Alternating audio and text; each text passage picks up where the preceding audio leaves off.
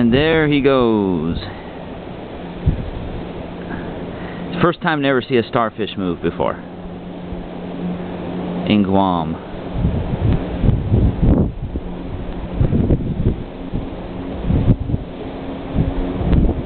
There he goes.